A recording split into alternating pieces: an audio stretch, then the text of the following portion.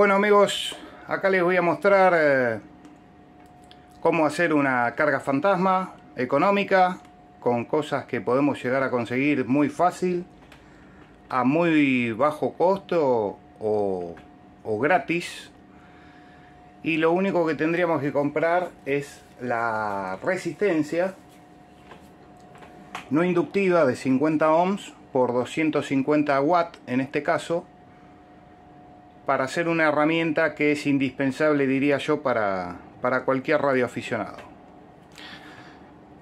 quizás alguno tiene de alguna PC vieja ¿eh?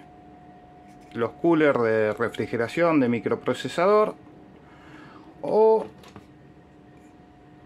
los coolers que vienen en, en los chipsets integrados de las placas madre que es este por ejemplo un pedazo de aluminio, un culote de, de algún equipo viejo para poder montar la resistencia la cual tiene que disipar calor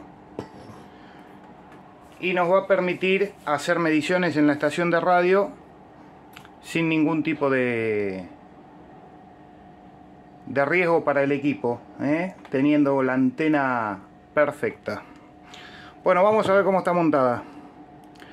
Yo acá les voy a mostrar antes de desarmarla.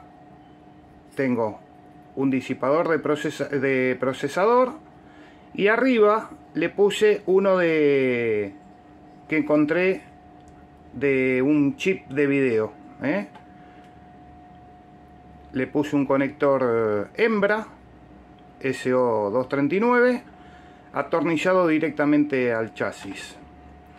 Vamos a desmontar acá, así pueden ver la resistencia y cómo está conectada.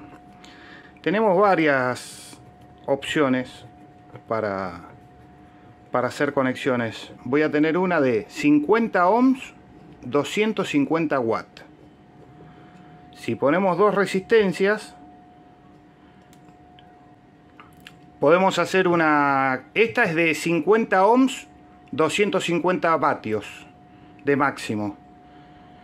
Si pongo dos resistencias, puedo hacer una carga de 100 ohms, la cual me va a dar un ROE de 2,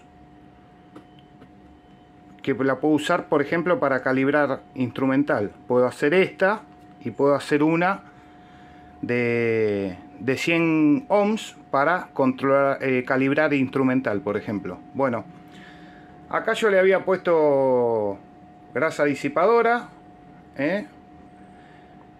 Y acá tenemos la conexión que es muy sencilla amasa directamente el conector un cable que viene a la resistencia que es una de 50 ohms 250 watts ¿eh?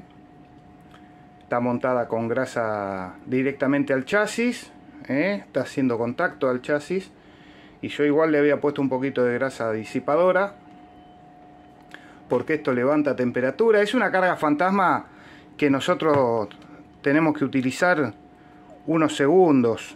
¿eh? No, no necesitamos estar...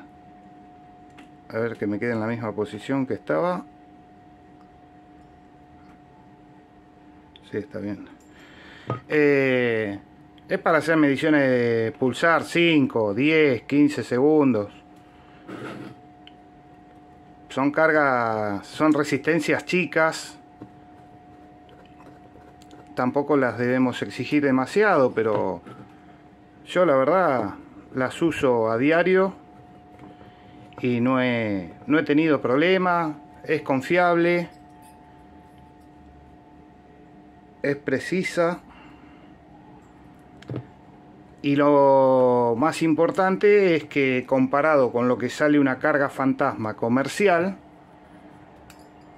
el costo de construcción es muy barato.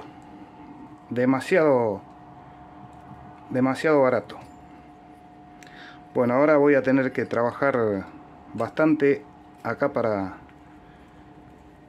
para el otro tornillo y controlar mucho no, no aprieten acá ¿eh? para no partir la, la resistencia. Háganlo con cuidado el ajuste. Ahí se acomodó la rosca. Arrímenlo. Lo fundamental es la grasa siliconada. Yo le puse la de los microprocesadores le falta todavía. No se afirmen mucho porque es para que haga contacto y disipe calor. Pues si no vamos a vamos a romper la resistencia y eso la verdad no sería nada agradable. Bueno ahí está firme. A ver si entra un cachito más. Listo. Bueno acá tenemos la carga lista para usar. Si medimos acá entre positivo y negativo tenemos que tener 50 ohms con el tester. Me parece que está fácil para algo que nos va a venir de maravillas. Hay distintos tipos de, disipadores.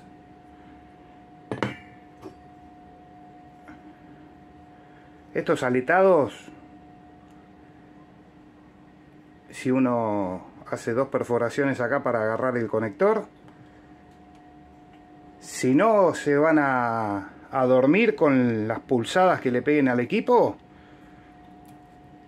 la pueden montar. Yo primero la usaba montada directamente arriba.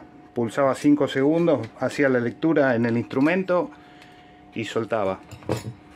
No, no tuve ningún problema, no rompí ninguna.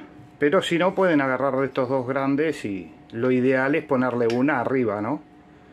Pero bueno, ya se la van a rebuscar de acuerdo a los materiales que consigan y se la van a poder hacer y van a poder disfrutar de una carga fantasma muy económica que la van a poder hacer sin ningún tipo de problema y lo único que necesitan es un poquito de, grasa siliconada, si quieren, no es necesario, y un puntito de soldadura. Bueno amigos, espero que les sirva, que hagan el proyecto y les dé buen resultado. Chau, chau. Hasta la próxima. 7-3.